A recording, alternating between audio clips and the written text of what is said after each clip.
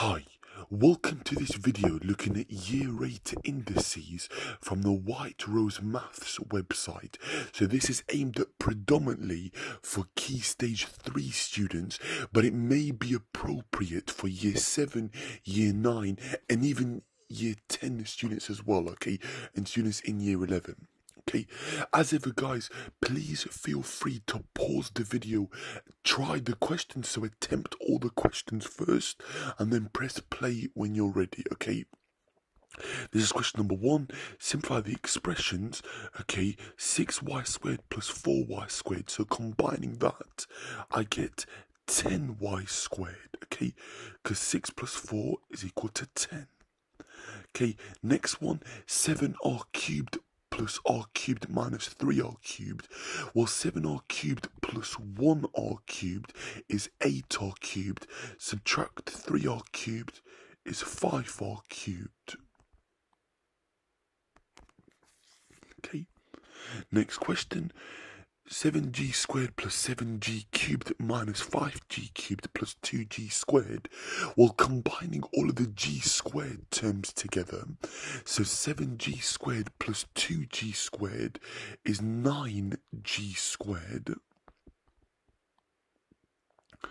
And 7g cubed subtract, okay, 5g cubed is equal to plus 2 g cubed, okay?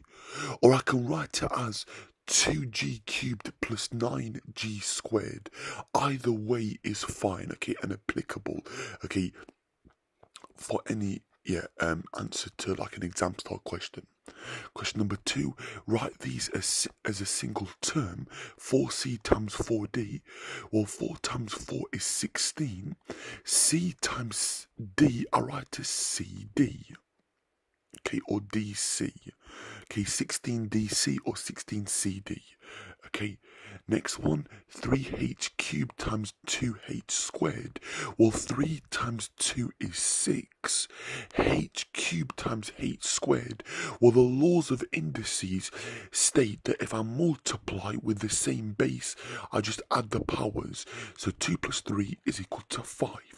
So h cubed times h squared is h to the power of 3 plus 2, which is h to the power of 5.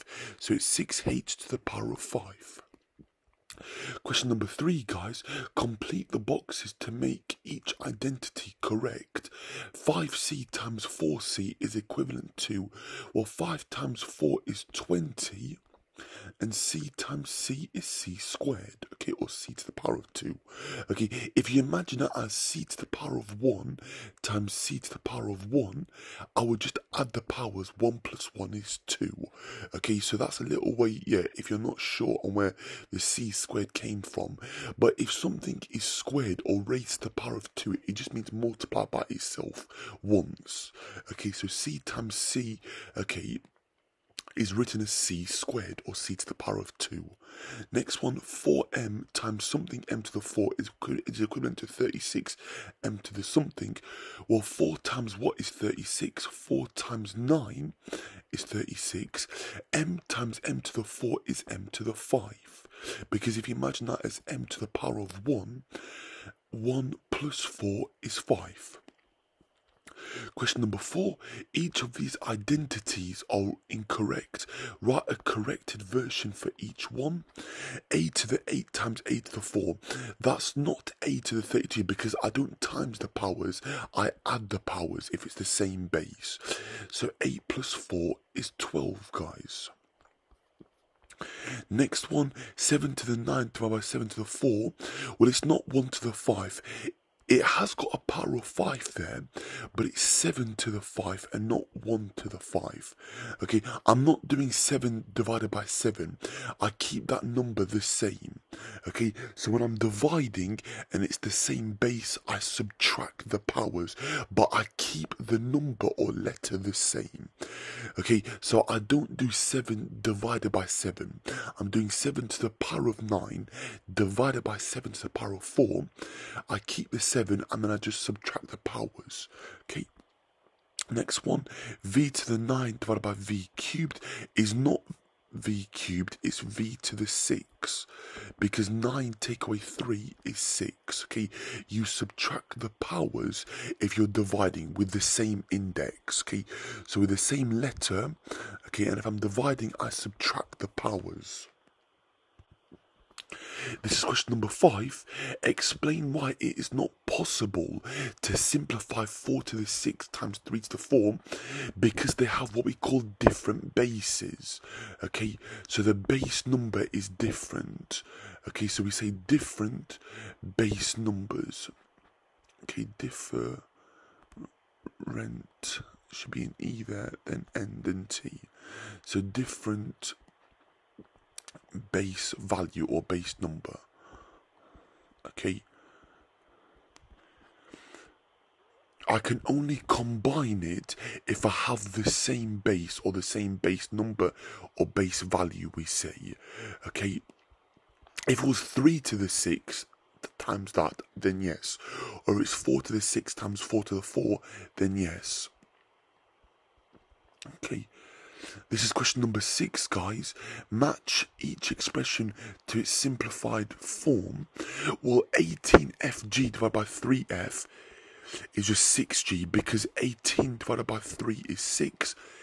The f's, they cancel. Okay, so I'll just get left with just 6g. Now, this one, I've got to be a bit careful. So, simplifying the top, I get 54 fg squared, but then I'm dividing it by 6g squared. So I'm going to get 9f, okay? Because the g squared, they cancel, okay, with that. Okay, and what I can do is divide top and bottom by 3, essentially. So I get a 1 there, and I get a 2 there. 18f divided by 2 is just 9f. Okay, because everything else is becomes a 1. Okay, and if you times by 1, my answer doesn't change. And if you divide by 1, my answer doesn't change. Okay, last one. Okay, it is going to be this one, but let's just double check. Okay, 18 times 6. Okay, well, if I just divide top and bottom by 3 to make the sum a bit easier, so that becomes a 1, that becomes a 2. 18 times 2 is 36.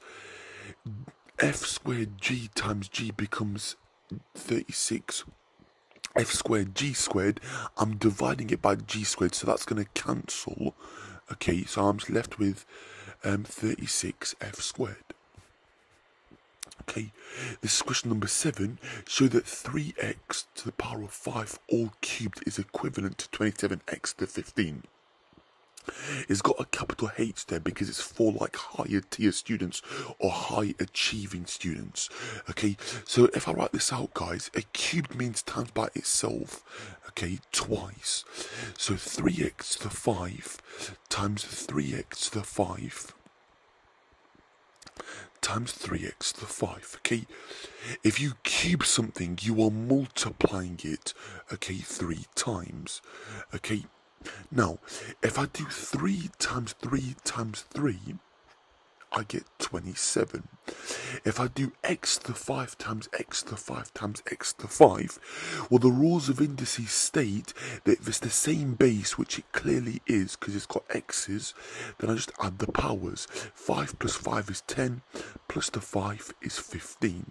So the answer is 27x to the 15, okay, as required or as shown, okay. Remember that power of 3 means that I cube it, okay for that one. Okay. Question number eight, guys. Fill in the boxes so that each expression is equivalent to 4a when simplified. Well, 12a divided by 3 is 4a. 28a to the 8 divided by 7, it should be 7a to the 7. Okay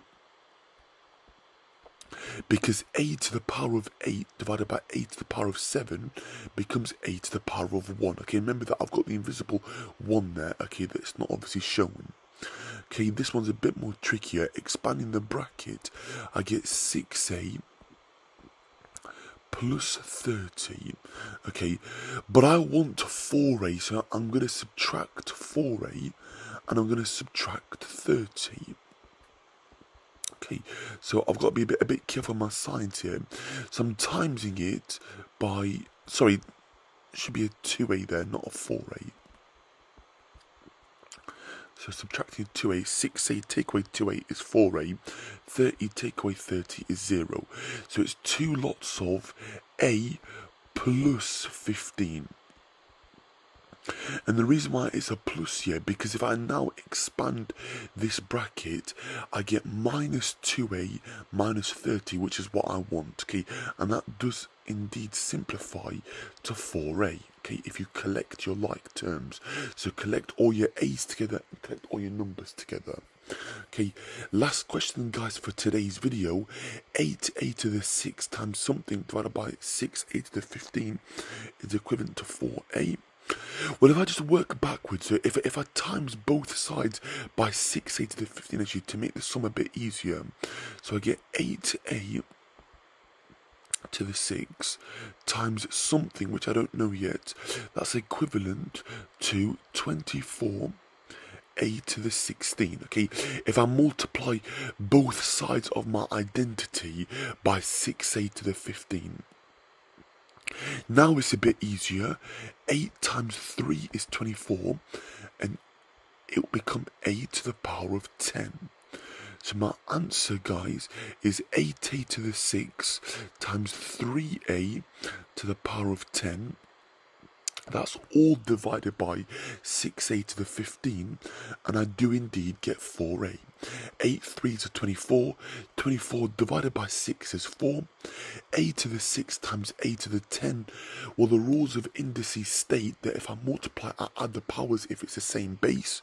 Clearly here it's a to the power of something, so it is the same base. 6 plus 10 is 16, divided by 15, so subtract 15 from 16, and I get a to the power of 1. Okay, or just a. Okay, remember that a letter by itself, guys, is just the same as saying one lot of that letter to the power of 1. Okay, it's got an invisible power of 1 there.